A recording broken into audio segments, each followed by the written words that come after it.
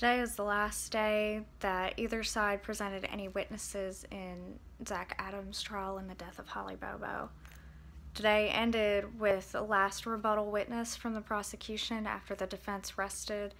That last witness is now retired TBI Special Agent Jack Van Hoosier, who said that he was actually the supervisor over Terry Dicus, who was benched because he got tunnel vision and only focused on one subject instead of following leads in the investigation.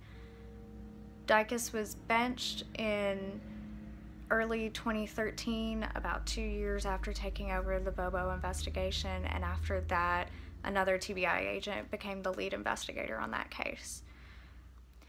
Jury deliberation is going to start tomorrow after Judge McGinley gives the jury instructions tomorrow morning around 8:30 and then we'll have closing arguments somewhere around 9:30 or 9:45 tomorrow morning.